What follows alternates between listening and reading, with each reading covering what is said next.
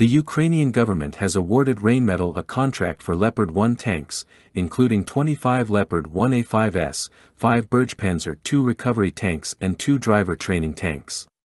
The order, financed by Germany and worth a figure in the upper two-digit million euro range, also includes training, logistics, spare parts, maintenance and other support services.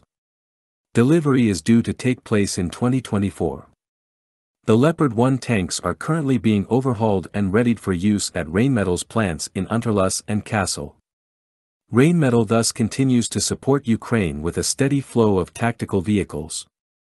The group has previously been tasked with supplying Ukraine with a total of 80 Marder infantry fighting vehicles.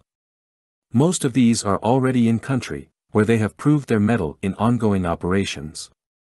Rheinmetall is ready to supply a further 20 Marder 1A3 IFVs as soon as it receives an order to this effect. In late 2023 and early 2024, Ukraine will also be taking delivery of five Caracal airmobile-capable vehicles. On behalf of the Dutch and Danish governments, moreover, next year the group will be supplying Ukraine with 14 Leopard 2A4 tanks. In addition to vehicles, Rheinmetall is aiding the Ukrainian armed forces with ammunition, drones, medical facilities, etc.